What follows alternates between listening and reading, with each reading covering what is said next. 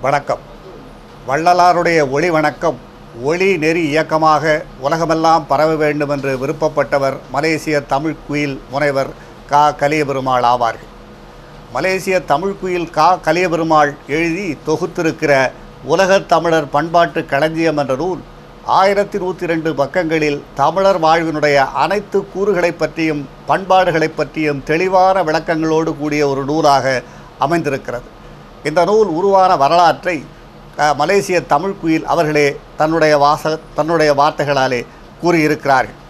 அவர் பள்ளி படிப்பை முடித்துவிட்டு மலேசியாவிலே ஆசிரியராக பணியாற்றிய அந்த காலகட்டத்திலே தமிழ் முரசு ஆசிரியராக அங்கே இருந்த தமிழவேள் சாரங்கபாணி அவர்களாலே தொடங்கப்பட்ட தமிழர் திருநாள் தை முதல் நாள் கொண்டாடப்படுகிற இந்த தமிழர் திருநாள் பற்றி அங்கே ஒரு பண்பாட்டு உரை அஹ், கொண்டிருந்தவர் கலியபெருமாள். அந்த உணர்வு மலேசிய தமிழர்களிடத்திலே ஆயிரத்தி தொள்ளாயிரத்தி ஐம்பத்தி நாலு ஆம் ஆண்டிலே பரவியிருந்த உணர்வு.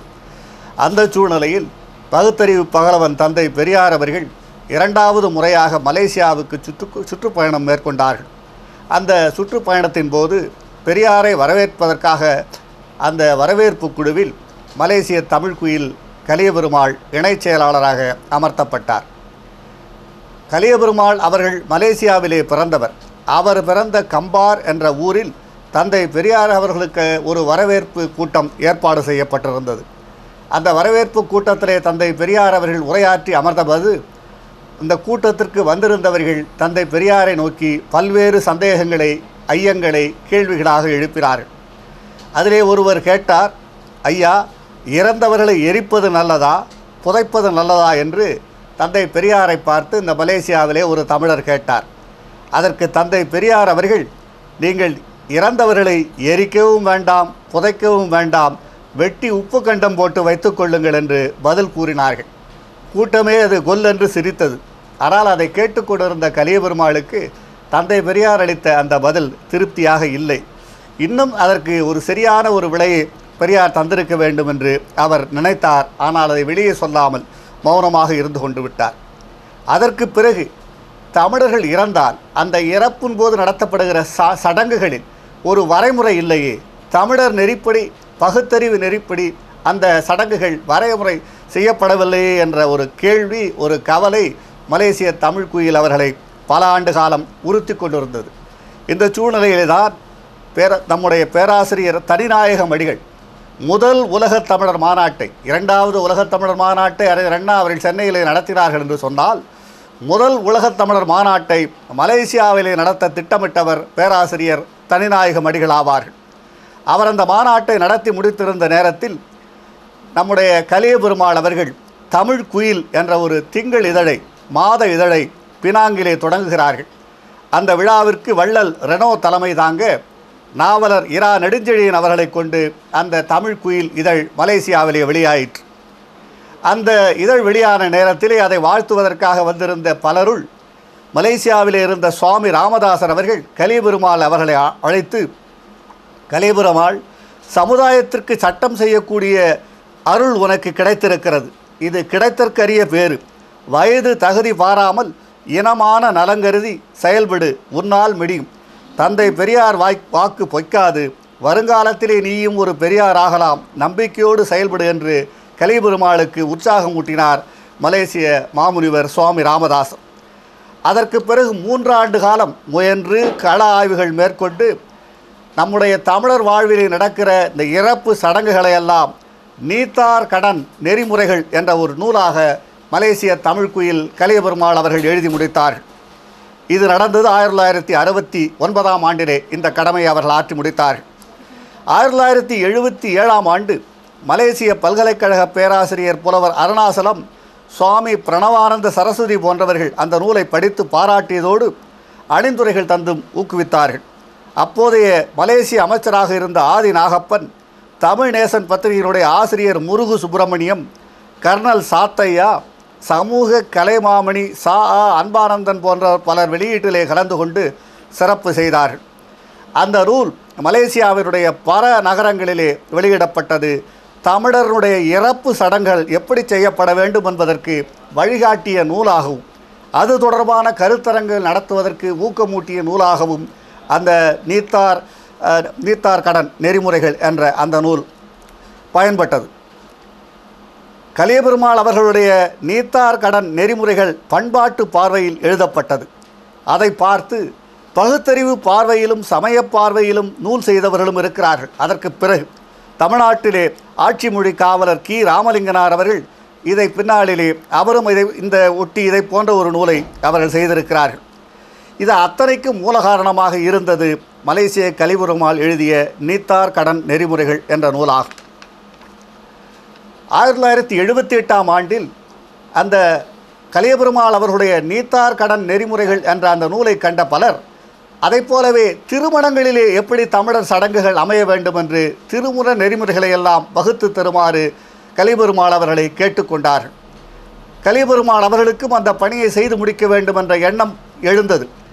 அதற்கு பிறகு பல்வேறு அறிஞர்களை கண்டு பேசிய பிறகு தமிழக அறிஞர்களுடைய கருத்துக்களை தொகுக்க வேண்டும் என்ற ஆர்வத்தில் தமிழக்கு தமிழகத்துக்கு வந்தார் கலியபெருமாள். அறிஞர்கள் பலரை கண்டு பேசி விவரங்களை தொகுத்து கொண்டிருந்தார். யுனெஸ்கோ கூரியர் ஏட்டினுடைய ஆசிரியர் ஆசிரியரும் மணவை முஸ்தபா. அவர்களையும் சந்தித்து இப்- நம்முடைய ஆட்சி மொழி காவலர் ராமலிங்கனாரையும் எல்லாம் சந்தித்து நாற்பது ஆண்டு காலமாக தமிழர் திருமணங்களை செய்து வைத்திருக்கக்கூடிய சான்றோர் பலரையும் சந்தித்து தமிழர் திருமுறைகள் திருமண முறைகள் என்ற நூலை எப்படி எழுத வேண்டும் என்று அதற்காக எழுதி கொண்டு வந்த அந்த சுவடியை காட்டி பலரிடத்திலே வாழ்த்து பெற்றார். கலியபெருமாள் மலேசிய தமிழ் குயில் கலியபெருமாள் எழுதிய தமிழர் திருமுறை திருமண முறைகள் என்ற நூலை படித்து கிருபானந்த வாரியார் அதற்கு ஒரு பாடல் எழுதி அவரை பாராட்டினார்கள். கவியரசு கண்ணதாசன் அவர்களும் சாற்றுக்கவியும் வாழ்த்துப்பாவும் வழங்கி அந்த நூலை ஊக்குவித்தார்கள். இது தமிழக அரசுடைய அரசவை கவிஞராக அப்போது கவியரசு கண்ணதாசன் இருந்தார்கள். கலிபெருமான் அவர்களே தமிழர் வாழ்க்கைக்கு முழுமையானதொரு பண்பாட்டு வழிகாட்டியை நீங்கள் உருவாக்கினால் பயனாக இருக்குமே. ஏனென்றால் இற இறந்தார் கடன் திருமணச் சடங்கு இவற்றை பற்றி நூல் எழுதிய கலிபெருமாள் தமிழர் வாழ்வினுடைய அத்தனை பண்பாட்டு கூறுகளை பற்றி ஒரு களஞ்சியத்தை வெளியிட வேண்டும் என்ற எண்ணத்தை கண்ணதாசன் அவர்கள் வெளிப்படுத்தினார்கள். இந்த தமிழர் திருமண முறைகள் மலேசியாவினுடைய பல நகரங்களிலே வெளியிடப்பட்டது. தமிழகத்திலே மனவை முஸ்தபா அவர்களாலே வெளியிடப்பட்டது. பிறகு ஆயிரத்தி தொள்ளாயிரத்தி எண்பத்தி நாலாம் ஆண்டு சான்றோர் பலருடைய வேண்டுகோளுப்படி இப்படி கண்ணதாசன் வாரியார் போன்றவர்கள் கேட்டுக்கொண்டதற்கிடங்க தமிழில் அர்ச்சனை என்ற ஒரு சூலை எப்படி தமிழிலே அர்ச்சனை செய்யப்பட வேண்டும் என்ற நூலையும் அவர்கள் எழுதி வெளியிட்டார்கள். மலேசிய நாடு பல இனங்கள் கூடினாலும் முஸ்லீம் நாடாதலால் எல்லா அரசு பொது நிகழ்ச்சிகளிலும் துவா என என்று தொடங்கப்படுகிற பிரார்த்தனை ஓதுவதுண்டு. அதைப் போல தமிழிலும் இறை வேண்டல் ஒன்றை உருவாக்கி தருமாறு பலரையும் கலிவருமாளை கேட்டுக்கொண்டார்கள். திருக்குறளையும் அருட்பாவையும் வேரடியாக கொண்டும் சமய சான்றோர்களுடைய தேவார திருவாசக அருட்பாக்களை கொண்டும் அருள்நெறி பிரார்த்தனைகள் என்ற நூலை எழுதி வாரியார் சுவாமிகளிடத்திலே காட்டி வாழ்த்து பெற்றார் கலியபெருமாள் அவர்கள். வாரிய வாரியார் சுவாமிகள் தனியாக கலியபெருமாளை கலியபெருமாள் மலேசிய தமிழர்களுடைய வாழ்க்கையை வழிநடத்த ஒரு வாழ்வியல் வழிகாட்டியை உண்டு பண்ணினால் உன் பேனா பெருமை பெறும் என்று வாழ்த்தினார்கள் இதற்கு பிறகு ஆயிரத்தி தொள்ளாயிரத்தி தொண்ணூற்றி நாலாம் ஆண்டில் இதற்காக பலர் பல ஆண்டு காலமாக கேட்டுக்கொண்டு வந்த அந்த விருப்பத்தை நிறைவேற்ற உலகத் தமிழர் பண்பாட்டு களஞ்சியத்தை வெளிக்கொண்டு வருவதற்கு எனக்கு இருந்த அவர் கலியபெருமாளுக்கு இருந்த ஆர்வம் குறையவில்லை. ஆனால் அவரிடமிருந்த சேமிப்பெல்லாம் செலவழித்து முடிந்திருந்த நேரத்தில் என்ன செய்வது என்று அவர் கலியபெருமாள் தகைத்து கொண்டிருந்த போது மலேசிய இந்திய காங்கிரசினுடைய தலைவரும் அங்கே அமைச்சராக இருந்தவருமான மாண்புமிகு டத்தோ ஸ்ரீ சாமி சா சா சாமிவேலு இந்த மாண்புமிகு டத்தோ ஸ்ரீ தத்- ஸ்ரீ சா டாக்டர் சாமிவேலு அவர்கள் நன்கொடையாக அளித்த சிலைதான் பாரதிதாசன் பாரதிதாசன் அருங்காட்சியகத்தினுடைய நடு கூடத்திலே இருக்கக்கூடிய ஒரு பாரதிதாசன் சிலை என்பதை இங்கே நாம் நினைவுபடுத்தியாக வேண்டும். இவர்கள் அவருக்கு வேண்டிய உதவிகளை செய்து தந்ததன் காரணமாக முதல் உலக தமிழ் ஆராய்ச்சி மாநாட்டை நடத்தி காட்டிய மலேசியாவே உலகத்தமிழர் பண்பாட்டு களஞ்சியத்தையும் வெளியிட்டு வழிகாட்டுவோம் என்று அந்த அமைச்சர் அவருக்கு வாழ்த்து கூறி அவருடைய வானூர்தி செலவுக்காக பணமும் வழி செலவுக்காக பணமும் கொடுத்து அனுப்பினார். இதற்கு பிறகு அவர் இதை நாம் மட்டுமே செய்து முடிக்க வேண்டும் என்ற எண்ணத்தை மாற்றிக்கொண்டு தமிழகத்திலே இருக்கக்கூடிய பல பேரிடத்திலையும் அணுகி அவரிடத்திலே எல்லாம் ஒத்துழைப்பு கேட்டு கட்டுரை கேட்டு என்னிடத்திலும் கூட அவர் கட்டுரை பெற்றிருக்கிறார். இப்படி அவர் இங்கே தியாகராயர் கல்லூரியினுடைய முன்னாள் தமிழ்துறை தலைவராக இருந்த டாக்டர் சு சுப அண்ணாமலை அவர்களை அவருடைய பணியிலுடைய நெறியாளராக இருந்து வழிநடத்தும்படி கேட்டுக்கொண்டார்கள். காமராஜர் பல்கலைக்கழக முனைவர் ஆய்வேட்டு மாணவர்கள் பதின்மறை அழைத்து அவருக்கு துணையாக இருக்குமாறு அந்த பேராசிரியர் ஆற்றுப்படுத்தினார்கள். பிறப்பு முதல் இறப்பு வரை உள்ள சடங்குகளை பட்டியலிட்டு ஆளுக்கு ஒரு தலைப்பை கொடுத்து கள ஆய்வும் நூல் ஆய்வும் செய்து தருமாறு அந்த மாணவர்களை அவர்கள் பணித்தார்கள். அவர்களுக்குரிய உழைப்பூதியமும் வழங்கும்படி ஆலோசனையும் கூறினார்கள். அவ்வாறே கலையபெருமாள் செய்தார். பிறப்பு முதல் இறப்பு வரை குலம் குடிகளுக்கு ஏற்றபடி இருந்த பண்பாட்டு வேறுபாடுகளையும் பழக்க வழக்கங்களையும் ஆய்வு மாணவர்கள் துணையோடு தொகுத்து முடித்தார் கலியபெருமாள். வாழ்வியல் ஒழுகலாறு வழிகாட்டி என்று பெயரிட்டு நூலை வெளியிட்டு விடலாம் என்ற முடிவுக்கே அவர் வந்துவிட்டார். ஆனால் அவருடைய கலியபெருமாளுடைய ஆருய நண்பர்களாக இருந்த பேராசிரியர் டா ஆ டாக்டர் ஆ தட்சிணாமூர்த்தி. டாக்டர் ஆ தட்சிணாமூர்த்தி என்ற இந்த பேராசிரியர் தான் சங்க நூல்கள் பலவற்றை ஏறத்தாழ பதிமூன்று நூல்களை ஆங்கிலத்திலே மொழியாக்கம் செய்து வெளியிட்டவர் என்பதையும் இங்கே நாம் சொல்லியாக வேண்டும். அந்த டாக்டர் தட்சிணாமூர்த்தி அவர்களும் நம்முடைய செந்தமிழ் சொற்பிறப்பியல் அகரமுதலி திட்டத்தினுடைய இயக்கராக இருந்த பேராசிரியர் மதிவாணன் அவர்களும் கலிபெருமாளை நீங்கள் இதை உலகத் தமிழர் பண்பாட்டு களஞ்சியம் என்ற பெயரிலேயே வெளியிட வேண்டும் என்று வலியுறுத்தினார்கள். பேராசிரியர் அன்பழகன் களஞ்சியம் எழுதுவது என்பது அவ்வளவு எளிமையான பணியன்று. பிரிட்டானிய கலைக்களஞ்சியம் எத்தனை ஆண்டுகள் ஆயிற்று என்றெல்லாம் சொல்லி இருந்தாலும் தயங்காமல் செய்யுங்கள் என்று வாழ்த்தி அவரை வழியனுப்பினார்கள். இப்படிப்பட்ட வாழ்த்துக்களை பெற்று உந்துதல்களை பெற்று அறிவுரைகளை பெற்று மாணவர் துணையோடு அத்தனை ஆய்வுகளையும் திரட்டி முடித்து தமிழர் மாட்சி தமிழர் வீழ்ச்சி தமிழர் மீட்சி என்ற பார்வையிலே அவரோடு கலியபெருமாளோடு சிந்திக்க வல்ல இனமான உணர்வுடைய பேராசிரியர்களை அவர் ஏற்கனவே அடையாளம் கண்டிருந்ததனால் அவர்களையெல்லாம் சந்தித்து புதுச்சேரி பல்கலைக்கழகத்துடைய பேராசிரியராக இருந்த காப்பா அரவாணன் அவர்களையும் அவர்களுக்கு துணையாக இந்த பணியிலே அறிவுரை நாடி அவர்கள் பெற்றார்கள். பேராசிரியர்களுக்கு கட்டுரைகள் எல்லாம் கிடைக்க வேண்டும் என்பதற்காக அவர் படாத பாடு பெற்றார்கள். அதிலே அவர்கள் வட்ட சிரமங்களை எல்லாம் அதை சொல்லிவிட்டு அவர் மட்டுமல்ல அந்த பணிக்கு அவரோடு துணை புரிந்தவர்களாக திரு சுப திருவரசன் தஞ்சை திரு பாலசுப்பிரமணியன் புதுவை பாரதியார் நினைவல்லத்து அலுவலகர் முனைவர் செங்கமலத்தாயார் சென்னை சு. ஆனந்த ஆனந்த பாண்டியன் புலவர் இறைக்குருவனார் அருங்கலை செல்வர் திருமதி அன் மதி அன்பரசு என்று இவர்களுடைய உதவிகளெல்லாம் கொண்டு அந்த நூலுக்கு வேண்டிய கட்டுரைகளை திரட்டி முடித்து அவர்கள் வெளியிட்டார் இந்த உலகத் தமிழர் பண்பாட்டு களஞ்சியம் என்ற நூலில் அவர் சொல்லுவதெல்லாம் திருமூலர் சொன்ன கருத்துக்கள் திருவள்ளுவர் சொன்ன கருத்துக்கள் திருவாசகத்தில் இடம்பெற்ற கருத்துக்கள் வள்ளலாருடைய கருத்துக்களை எல்லாம் ஒருங்கிணைத்து ஒரு பொது நோக்கிலே அவர்கள் அந்த நூலை படைத்திருக்கிறார்கள்.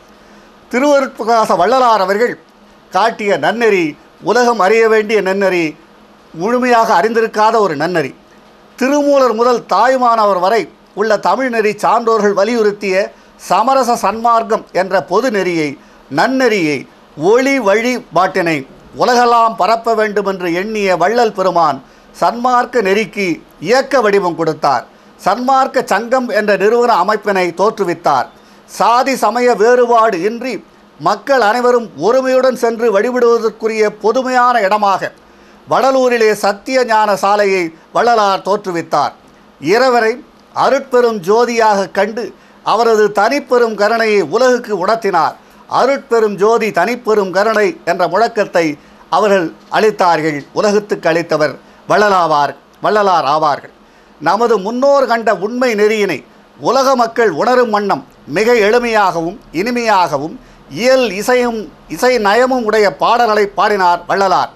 பாடல்களாலும் வறியவர்களுக்கு உணவு வழங்குகிற பணியாலும் மக்களிடத்திலே சன்மார்க்க நெறியை பரப்பினார் வள்ளலார். சமரச சுத்த சன்மார்க்க சத்திய சங்கம் சமரச சுத்த சன்மார்க்க சத்திய தர்மசாலை சமரச சுத்த சன்மார்க்க சத்திய ஞானசபை என்று வழங்குகிற இந்த மூன்றையும் நிறுவி உலக மக்களெல்லாம் உய்வு பெற வழிகாட்டினார் வள்ளலார். அன்பே சிவம் என்று திருமூலர் அருளிய மொழிக்கு ஏற்ப அன்பும் மெய்யுணர்வும் வடிவமாக உடைய இறைவனை மக்கள் வணங்க வேண்டும். எவ்வுயிரும் தம்முயிர் போல் எண்ணி உயிர் இரக்கமுடையவராய் வாழுகிற ஆன்மநேய ஒரு ஒருமைப்பாட்டு உணர்வினை கடைபிடித்து ஒழுகல் வேண்டும்.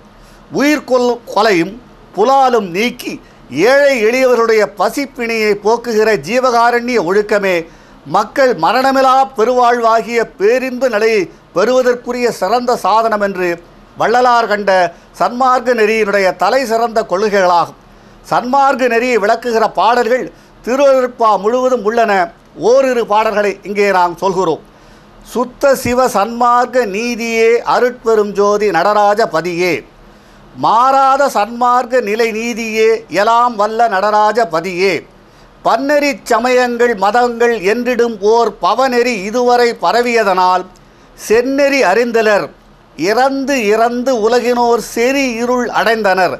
ஆதலின் நீ புன்னெறி தவிர்த்தொரு பொதி பொது நெறி என வான் புத்தமுது அருள்கின்ற சுத்த சன்மார்க்க தன்னெறி செலுத்துக என்ற என் அரசே. தனி நடராஜ என் சர்க்குரு மணியே என்று அருட்பாவிலே வள்ளலார் பாடியிருக்கிறார். சாதி சமய சாத்திரங்களை கண்டித்து மக்களை அன்பு நெறியிலே சேர்த்தார் வள்ளலார். சாதி சமயமெல்லாம் பொய் என்று ஆதியில் உணர்த்திய அருட்பெரும் ஜோதி என்றும் இருட்சாதி சமய சாத்திர குப்பை என்றும் சாடி ஆறுயிர்க்கெல்லாம் அன்பு செய்யல் வேண்டுமென்று இறைவனை வேண்டினார் வள்ளலார் ஆவார்.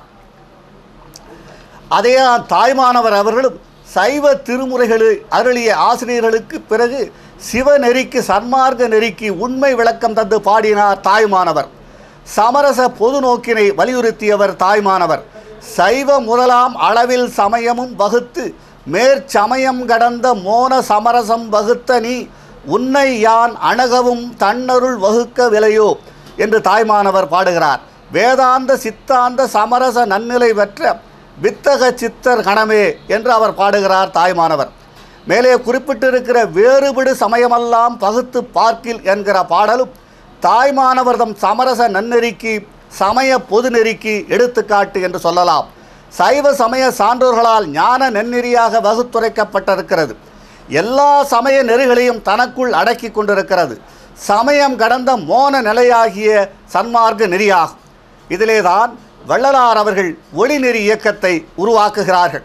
கடவுள் உணர்வு இறை உணர்வு சமய நெறியினுடைய வழியாக இதுவரை வளர்க்கப்பட்டிருக்கிறது. உலகில் பல நாடுகளில் பற்பல சமயங்கள் தோன்றி வளர்ந்திருக்கின்றன. அவை ஒன்றோடு ஒன்று மாறுபட்டு மோதி மக்களிடத்திலே பகையை வளர்த்திருக்கின்றன. சமயங்களின் காரணமாக உலக மக்கள் சண்டையிட்டு மடிகிறார்கள். இயற்கையில் உள்ளதான சகோதர உறவுக்கு இது மாறானது. ஆகவே சமய நெறி பயனற்றது. இறைவனை உள்ளவாறு அறிய உதவாதது என்ற முடிவுக்கு வந்தார் வள்ளலார். சமய நெறியிலே செல்லாமல் இறைவனை உணர முயல்வதே தக்கது என்று தெளிந்தார் வள்ளலார். சில சமய நெறிகள் இறைவனை உருவம் உடையவன் என்று கூறும். மற்றும் சில அருவம் என கூறும். உருவம் புரிந்து கொள்ளக்கூடியது ஜானத்தில் வைப்பதற்கு எளியது. அருவம் இவ்விரண்டு தன்மையாலும் அரியது. வள்ளலார் இவ்விரண்டும் அல்லாத யாவர்க்கும் பொதுவான எளிமையான இறைவனை காண வேண்டும் என்று விரும்பினார். அதுவே அவனை கருணை வடிவாக பண்பாக அந்த அருள் என்கிற ஆற்றலாகவும் சோதி வடிவாகவும் கொண்டு தியானம் செய்தல். இடைவிடாது நினைத்தல் ஒன்றிய மனதோடு நினைத்தல் என்று இது வள்ளலார் கண்ட இறைநெறி. உயிரினுடைய பண்பு கருணை தயவு என்பது இரக்கம் என்பதும் இதுவே. என் உயிர்தான் உயிர் இரக்கம்தான் ஒன்றதே. இரண்டும் இவை என்று வள்ளலார் கூறுவார். சீவகாருண்யம் என்பது சீவர்கள் தயவு சீவர்கள் ஆன்ம இயற்கை விளக்கம் என்று வள்ளலார் விளக்குவார். உயிருடைய இயற்கை குணமாகிய தயவு சாதி சமயம் இனம் முதலிய செயற்கை வேறுபாடுகளால் மறைக்கப்படக்கூடாது. இந்த வேறுபாடுகள் நீங்க வேண்டும் தயவு மலர வேண்டும். துன்பம் நீக்குகிற பணியை மக்கள் சாதி கடந்து சமயம் கடந்து நாடு கடந்து இடம் கடந்து செய்ய வேண்டும். நாடுகளின் எல்லைகள் மண்ணுலகுக்கே தவிர மனதிற்கு கிடையாது. நாடுகள் உதவி கை நீட்டி பகையை நீக்கி ஓருலக சமுதாயமாக வாழ வேண்டும். இதுவே வள்ளலார் கண்ட சமுதாய நெறி.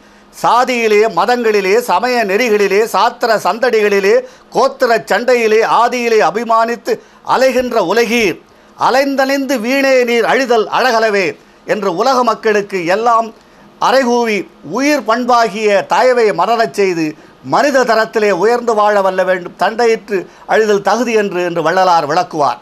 வள்ளலார் கைப்பட எல்லாமுடைய அருட்பெருஞ்சோதி அற்புத கடவுளே இது தொடங்கி எக்காலத்திலும் சுத்த சன்மார்க்கத்தின் முக்கிய தடைகளாகிய சமயங்கள் மதங்கள் மார்க்கங்கள் என்பவற்றினுடைய ஆசார சங்கற்ப விகற்பங்களும் வருணம் ஆசிரமம் முதலிய உலகாச்சார சங்கற்ப விகற்பங்களும் எங்கள் மதனில் பற்றா வண்ணம் அருள் செய்தல் வேண்டும். சுத்த சன்மார்க்கத்தினுடைய முக்கிய லட்சியமாகிய ஆன்மநேய ஒருமா ஒருமைப்பாட்டு உரிமை எங்களுக்குள் எக்காலத்தும் எவ்விடத்தும் எந்த விதத்தும் எள்ளளவும் விலகாமல் இறைந்து விளங்கச் செய்தொருள் வேண்டும். எல்லாமாகிய தனிப்பெரும் தலைமை அருட்பெருஞ்சோதி ஆண்டவரே தேவரீர் திருவருட் பெருங்கருணைக்கு வந்தனம் வந்தனம் இப்படிக்கு சிதம்பரம் ராமலிங்கம் என்று வள்ளலார் கைப்பட எழுதிய கடை எழுத்துக்களை நீங்கள் இங்கே பார்க்கிறீர்கள்? வள்ளலார் சிதம்பரம் ராமலிங்கம் என்று கையெழுத்திட்டு வெளியிட்ட சமரச சுத்த சன்மார்க்க சத்திய சிறு விண்ணப்பத்திலே வெளியிட்டிருக்கிறார்கள். இந்த விண்ணப்பம் ஆயிரத்தி எண்ணூற்றி எழுபத்தி ரெண்டிலே வெளியிடப்பட்டது. இதுவே அவருடைய வலுவான கொள்கையாக விளங்கியிருக்கிறது. ஆன்மநேய ஒருமைப்பாட்டு உரிமை எல்லோரிடத்திலும் விளங்க வேண்டும். ஆன்மநேயம் வளருமானால் பேதங்கள் மறையும். அன்பு வளரும். ஈகை சிந்தை பெருகும். இரக்கம் உண்டாகும் என்று அழுத்தம் திருத்தமாக கூறி வந்திருக்கிறார் வள்ளலார்.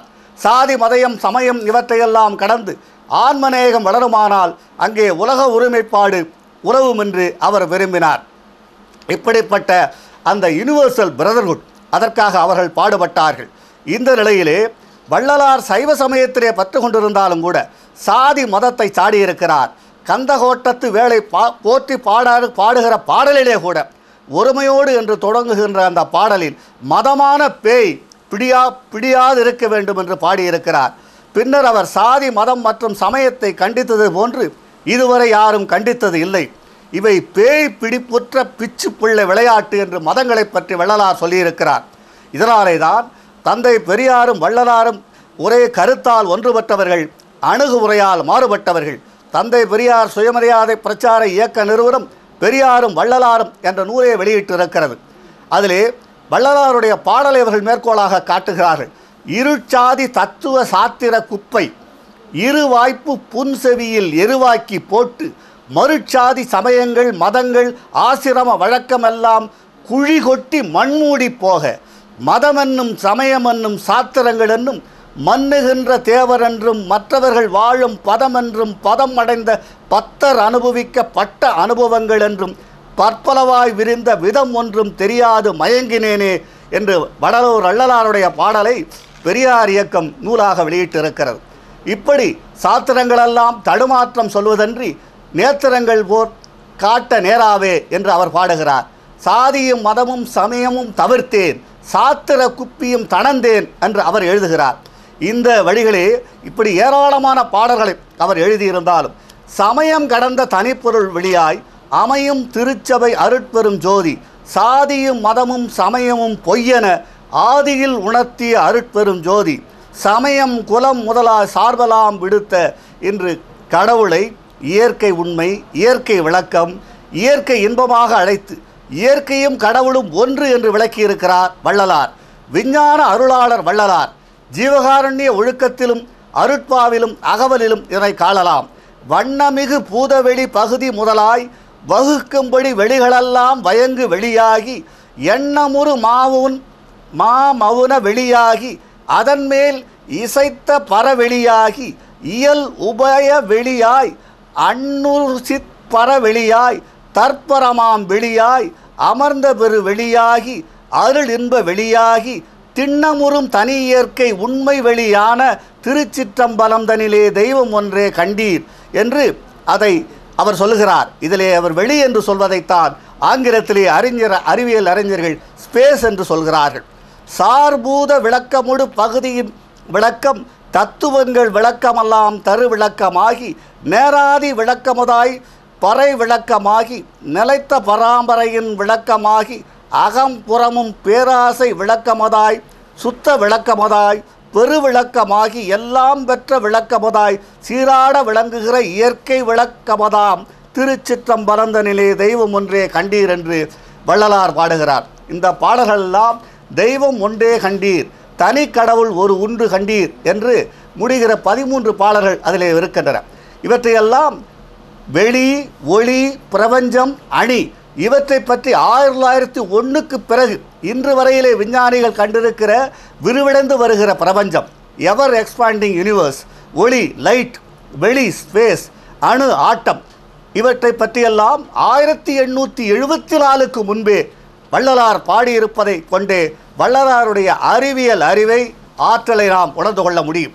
அவர் எழுதிய அருட்பெருஞ்சோதி அகவல் ஆயிரத்தி தொள்ளாயிரத்தி ஆயிரத்தி ஐநூற்றி தொண்ணூத்தாறு அடிகளை கொண்ட அகர்பாவிலே ஆண்டவனுக்கு நன்றி கூறுகிற முறையிலே மிக மிக விளக்கமாக விரிவாக தான் அடைந்த நிலை உட்பட தெளிவுபடுத்தி இருக்கிறார் அருட்பெருஞ்சோதி உடைய இந்த நிலையில் இந்த பாடலில் இவை போன்ற காரணங்களால் இவற்றையெல்லாம் இப்படியெல்லாம் சொல்லியிருக்கிற நிலையிலும் கூட இந்துக்களுக்குள்ளே சிவனை வழிபடுகிற சைவர்கள் பெருமாளை வழிபடுகிற வைணவர்கள் அம்பிகையை வழிபடுகிற சாக்கதர்கள் பிள்ளையாரை வழிபடுகிற காரணா காரணா பத்தியர்கள் முருகனை வழிபடுகிற கௌமாரர்கள் சூரியனை வழிபடுகிற சௌரர்கள் என்று உருவ வழிபாட்டில் ஒருவருக்கொருவர் உடன்பாடு கொண்டவர்களாக இல்லாதிருப்பதை இன்றும் காணலாம். இந்துக்களுக்குள்ளேயே கற்பிக்கப்பட்ட கடவுள் வழிபாட்டில் இத்துணை கருத்து முரண்பாடுகளெல்லாம் இன்ன பிற சமயங்களில் உடன்பாடு காண்பதென்பது எவ்வாறு? இவர்களுக்குள்ளேயே ஒற்றுமை இல்லாத போது. ஒருமைப்பாடு பற்றி பேசுகிற இந்துக்கள் சிந்திக்க வேண்டிய தருணம் இதுவாகும் என்று கலியபெருமாள் எழுதுகிறார். இவை போன்ற சகன மூர்த்திகளினுடைய வடிவ வழிபாடு வழிபாட்டு மயக்கத்தை உண்டாக்கும் என்பதை உணர்ந்தவர்கள் பழந்தவர்கள் ஆகவேதான் திருவள்ளுவர் ரெண்டாயிரம் ஆண்டுகளுக்கு முன்னரே உருவமற்ற நிலையில் இறை பரம்பொருளை பற்றி ஆழமாக பேசியிருப்பது வியக்கத்தக்க பெருமைக்குரியதாகும் என்று சொல்கிறார் மலேசிய தமிழ் குயில் கலியபெருமாள். அது மட்டுமன்று திருவள்ளுவர் இறைவனுடைய தோற்றம் பற்றி பேசாமல் இறைவனுடைய பண்பையும் பயனையும் பற்றி பேசுகிற அருமை எண்ணுந்தோறும் இன்பமூட்டுவதாகும் என்று சொல்லுகிறார் கலியபெருமாள் அவர்கள். திருவள்ளுவர் இறைவனை குறிப்பிடுகிற இடங்களெல்லாம் சிவன் முருகன் பிள்ளையார் என்று கூறாமல் பண்பு பெயர்களாலேயே குறிப்பிட்டிருக்கிறார்கள். ஆதி பகவன் வாலறிவன் ஐந்தவித்தான் அறவாழி அந்தணன் தனக்கூமை இல்லாதான் வேண்டுதல் வேண்டாமை இல்லாதவன் எண் குணத்தான் என்று அவர் கூறியிருப்பதை எண்ண வேண்டும் என்று கலியபெருமாள் சொல்கிறார். உலகம் இன்று அறிவியல் போக்குவரத்து வழிகளால் மிகவும் சுருங்கிவிட்டது. எனவே தமிழக தமிழர்கள் உலகத்தினுடைய நாற்பதுக்கும் மேற்பட்ட நாடுகளிலே பரவி வாழ்கிறார்கள். அந்த குடியேறிய தமிழர்கள் ஆங்காங்கு பண்பாட்டு வழிபாட்டு நிகழ்வுகளில் தெளிவான தமிழ் நெறி குருமார்கள் இல்லாத காரணத்தினாலே பார்ப்பன சடங்குகளிலே ஈடுபட்டும் செயல்பட்டும் வருகிறார்கள். தமிழ் மந்திரங்களை சொல்வதற்கு ஆட்கள் இல்லை குருமார்கள் இல்லை. எனவே வடமொழி மந்திரங்கள் சொல்லுகிறவர்கள் அங்கே வாழ்ந்து கொண்டிருக்கிறார்கள். எனவே மீண்டும் ஆரிய நச்சு அயல் நாடுகளிலே வாழுகிற தமிழர்களை அடிமைப்படுத்தி கொண்டு உள்ளதென்பதை உலகப் பயணங்களில் போது உணர்ந்தேன் என்று கலியபெருமாள் சொல்கிறார். வள்ளுவர் காலம் முதல் வள்ளலார் காலம் வரை நம் தமிழறிஞர்கள் மக்களுக்கு அறிவுறுத்துகிற சமுதாயமாகவே இருந்திருக்கிறார்கள்.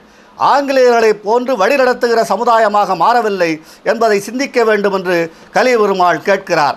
எனவே தந்தை பெரியார் அறிஞர் அண்ணா மறைமலை அடிகள் திருவி கல்யாண சுந்தரனார் நாவலர் சோமசுந்தர பாரதியார் பாவேந்தர் பாரதிதாசன் போன்றவர்களுடைய கருத்துக்களை தமிழர்கள் பேசுகிறார்களே தவிர அவற்றை செயல்படுத்தவில்லை என்று நம்முடைய கலியபெருமாள் சொல்கிறார். எனவே அறிவும் தெளிவும் பகுத்தறிவும் கொள்கை ஈடுபாடும் ஓரிரை கொள்கையும் கொண்டு ஆரிய முறைகளை உணர்ந்து வெளிவந்தவர்கள் இயக்கமாகவும் குழுவாகவும் பண்பாட்டு நெறியில் கூடி வாழ விரும்புகின்றனர். அவர்களை வழிநடத்துகிற அந்த அருமை கருதி ஒளி நெறி இயக்கம் என்ற ஒரு இயக்கத்தை உலகமெங்கு உருவாக்க வேண்டும் என்று அவர் நினைத்தார். உலகளாவிய நிலையில் தமிழர்களை ஒரு வழி நடத்த இன்றுள்ள தமிழர்களும் தமிழ்ச் சான்றோர்களும் சிந்தித்து உலக தமிழர் நலக்கோட்டம் என்ற ஒரு அமைப்பை உருவாக்கி பாடத்திட்டங்களை வகுத்து பயிற்சிகள் கொடுத்து உலக தழுவிய நிலவில் குருமார்களை அனுப்பி அவர்களை தமிழர்களை வழிநடத்த வேண்டும் என்பது நம்முடைய கலி தமிழ மலேசிய தமிழ்குயில் கலிபெருமாள் அவர்களுடைய அந்த விருப்பமாகும். எனவே உலகத் தமிழர்களை ஒரு குடையின் கீழ் வழிநடத்த உலகத் தமிழ்ச் சான்ற பலரை அவர் அணுகி அவர் பெற்ற அந்த அனுபவத்தின் அடிப்படையில் அந்த ஒளிநெறி இயக்கத்தை வள்ளலாருடைய ஒளி வணக்கத்தை உலகமெங்கும் தமிழர்கள் ஏற்கக்கூடிய அனைத்து மக்களும் ஏற்கக்கூடிய ஒரு இயக்கமாக ஆக்க வேண்டும் என்று பாடுபட்டவர் நம்முடைய மலேசிய தமிழ்குயில் கலிபெருமாள் ஆவார்கள். அவர்கள் தம்முடைய தமிழர் பண்பாட்டு களஞ்சியத்திலே இவ அத்தனையும் நெறிமுறைப்படுத்தி சொல்லியிருக்கிறார்கள் வள்ளலாருடைய கருத்தை நம்முடைய தமிழர் பேசுவதைப் போலவே புதுச்சேரியிலே வாழ்ந்த நம்முடைய சுப்பிரமணியா பாரதியாரை தெரிந்தவர்கள் தெரிந்த தெரிந்தால் தெரிந்து கொண்டிருக்காத ஒரு பாரதியார் இங்கே வாழ்ந்திருக்கிறார். அவர்தான் மகா யோகி சுத்தானந்த பாரதியார். சுத்தானந்த பாரதியார் வள்ளலாரை மகாத்மா ராமலிங்கர் என்று சொல்கிறார். மகாத்மா காந்தியைத்தான் மகாத்மா என்று சொல்லி நீங்கள் கேள்விப்பட்டிருப்பீர்கள். மகாத்மா வள்ளலார் என்று கவி யோகி சுத்தானந்த பாரதியார் ஆங்கிலத்திலேயே நூல் எழுதி வள்ளலாரை பாராட்டியிருக்கிறார். அத்தகைய வள்ளலாருடைய ஒளிநெறி இயக்கம் உலக தழிய இயக்கமாக சாதி கடந்த மரணம் கடந்த தமிழர்களை ஒருங்கிணைக்கிற இயக்கமாக தமிழர் வாழ்வினுடைய சடங்குகள் அத்தனையும் தமிழிலே நிகழ்த்தக்கூடிய அந்த நெறிமுறைகளை வகுத்து ஏற்கனவே உலகம் தமிழர் பண்பாட்டு களஞ்சியம் வந்திருக்கிறது. அதை பயன்படுத்தாத தமிழர்கள் இனியாவது அதை பயன்படுத்தி தமிழ் நெறியிலே வாழ வேண்டும் என்பதைத்தான் அறுபத்தி ஏழாவது என்னுடைய பிறந்த நாள் இன்று என்பதனாலே இந்த பிறந்த நாள் செய்தியாக இதை உங்களிடத்திலே கூறி விடைபெறுகிறேன். நன்றி வணக்கம்.